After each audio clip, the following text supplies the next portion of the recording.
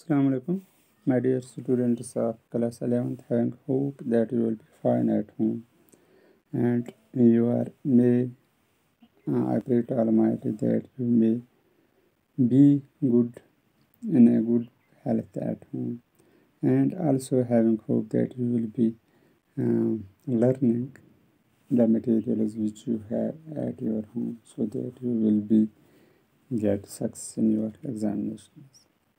Thank you, my dear students, receiving these and advices of mine. Now today we will discuss. Uh, last in last lecture we have discussed what was the Reformation, how it caused it, and what were its aims. Now today we will discuss what was the consequence of Reformation because in the world everything has positive and negative sides. Now today we will discuss what was the consequence in consequence, we find that it has a far-reaching effect. The Renaissance have far-reaching effects on the life of the European society. The European society was that it caused asceticism in church, especially the Reformation was against the control power of church. Reformation divided European society into two distinct groups, that is Catholic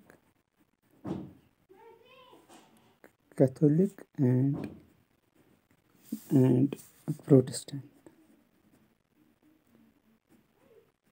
Protestants. These became two hostile groups in Europe. Mm, one was Catholic Church and another was Protestant Church. Thus, we say that in the Reformation, in uh, consequence of Reformation, the European society was divided into two groups: Catholic Church, the people belongs to Catholic Church, and the Pro and the Protestants. Education received a powerful impetus as an aftermath of Reformation, because education became common. Education became popular among the European nations. We find that the education played important role for the inputs in and aftermath of the Reformation. Because in some parts we find that Catholic Church was um, having power, and in other parts we find that Protestant uh, uh, church having power. In Germany we find that there was a Protestant church under which people were uh, uh, living, and in uh, Rome we find there was a Catholic church going on. No doubt, the papacy class was having much power and gri- uh, gripped whole the life of the people have, was weakened because of the Reformation and because of the Renaissance.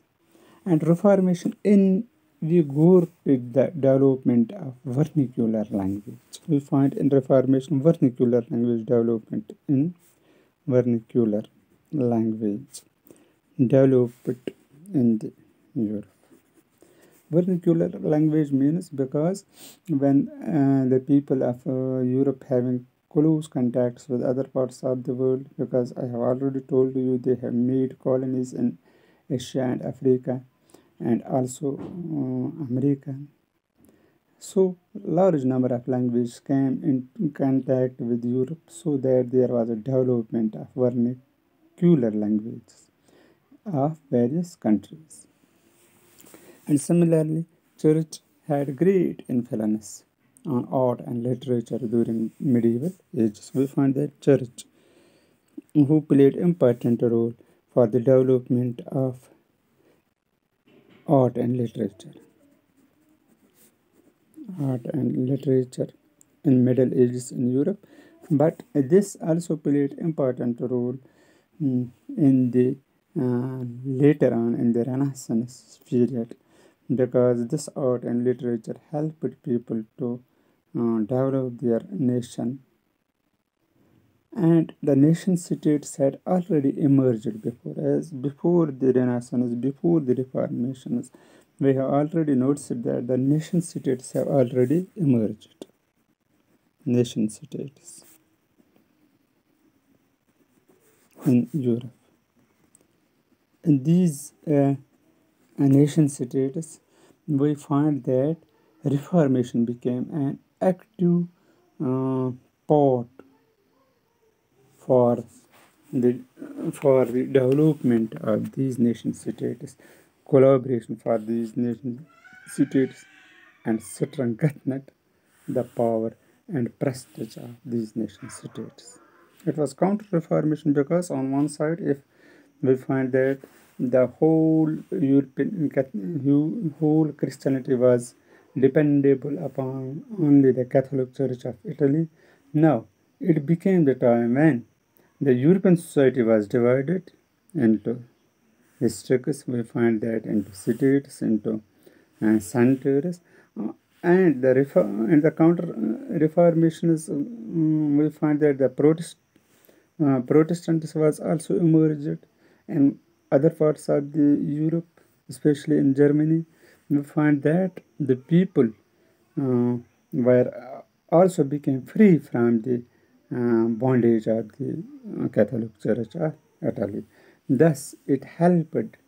Uh, in other words, we can say on one side it was helpful for the people to live a uh, comfortable life, to live a life without uh, the papacy or clergymen, but on the other side, it divided the Europeans among themselves because they were always already having wars with uh, their old rival that was uh, Muslims.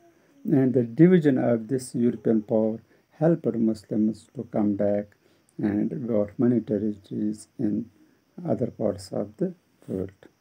Good, the nation states had already emerged before Reformation, and Reformations gave them new power and vigor. In uh, Europe, we find that uh, the Reformation helped them to uh, to make strength of their nation states uh, instead of having control of the papacy and uh, having the Catholic Church of Italy and Europe. Thus, we can see that the, uh, on one side Reformation was a help, Reformation helped people to live a uh, more uh, sensitive life, more free life than the uh, because they became free from the bondage of the Catholic Church of or papacy class in the Italy but on the other side, it divided the European nations into small units, which helped the, their enemy to take control on the various parts of the world. This, this was the, all about the Reformation and the counter and the consequence of Reformation. Thank you. This was all today's topic.